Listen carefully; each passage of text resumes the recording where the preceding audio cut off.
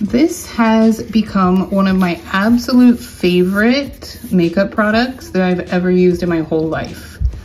It is the Fenty Beauty Eaze Drop Blur and Smooth Tint Stick.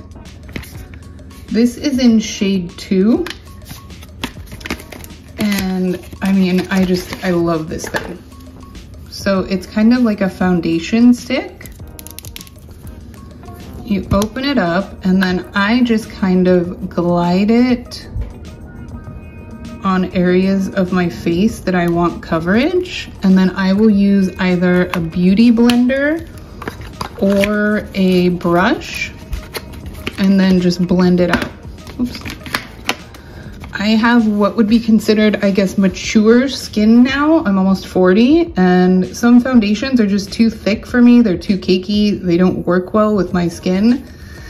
This stuff, I mean, it covers without settling in your lines. I just, I'm absolutely obsessed with it. I love it.